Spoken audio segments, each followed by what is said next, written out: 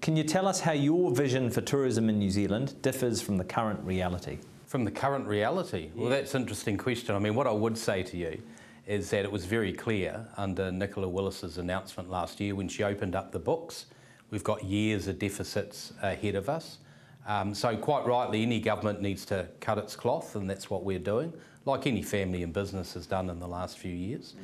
The other side of that equation is how do we then grow the economy? Tourism and, hospitality is one of our biggest export earners. So what we want to do is grow tourism.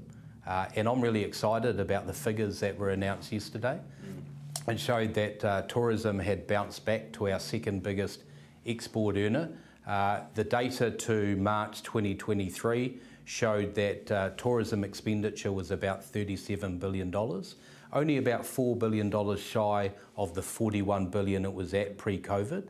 So it shows that the tourists are coming back. And as I travel around the country as a new tourism and hospitality minister, it's really exciting and I love meeting all the colourful characters, mm. uh, our tourism operators, and they're loving the ability to showcase New Zealand to our international visitors. So back to my question, how, how would your vision for tourism in New Zealand change things? What would you do differently?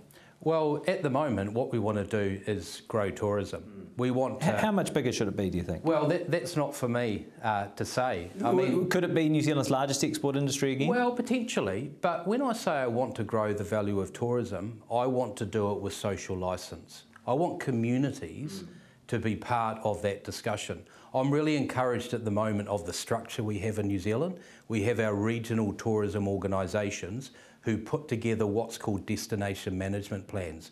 That's part of communities deciding do they want tourism, what attractions do they have to offer, and what levels do they want coming in. So, look, it's not for me out of the beehive to tell areas what they want to do in tourism, other than I think a government's role is to create the settings mm. that tourism operators can grow, invest another dollar, employ another person, and then get out of their way so they can go on and do so, what so they need to do. So is it good for, for, for productivity, for, for growing wage rises, that kind of thing?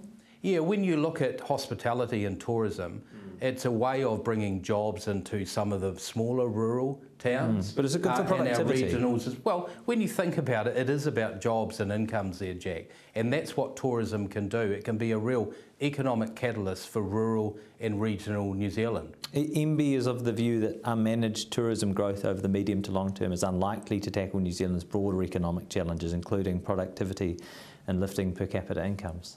Yeah, that's I, from your, your I, briefing as the I know, minister. but I'd slightly push back on that, Jack. What I'm actually seeing from our tourist operators, and I think really when you look at the value of tourism to our GDP, the latest stats showed about 3.7 billion. Mm. I think we should be patting our tourism operators on the back and thanking them for being part of our economic recovery. And what they're telling me is that they are looking at their um, products now, at their services, mm. and looking at um, higher value of what they are achieving with the international visitors.